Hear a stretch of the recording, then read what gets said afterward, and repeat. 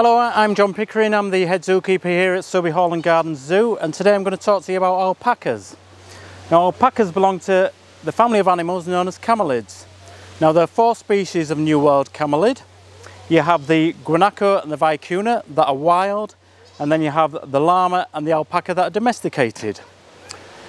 Now llamas were domesticated from the wild guanaco and alpacas that were domesticated from the wild vicuna. And here we've got our two alpacas, Fudge and Brownie.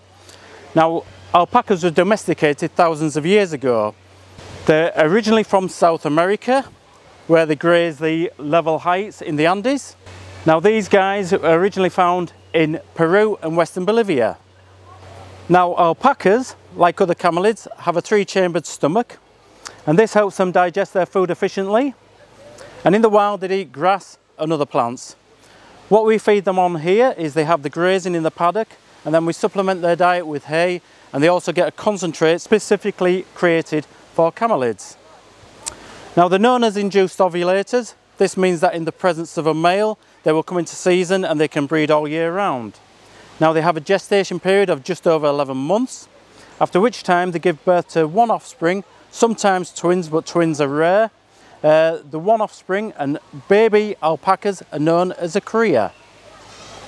Now the baby alpaca or cria can stand normally within 30 to 90 minutes after being born. And they would stay with their mother and they are weaned at six to eight months of age. Now they were domesticated thousands of years ago for their fibre.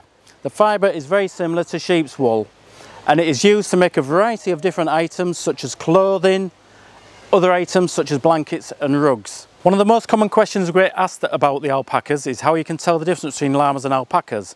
Well there is a size difference, llamas are bigger but one of the main ways you can tell the difference is llamas have banana shaped ears. So we say, remember the phrase llama banana.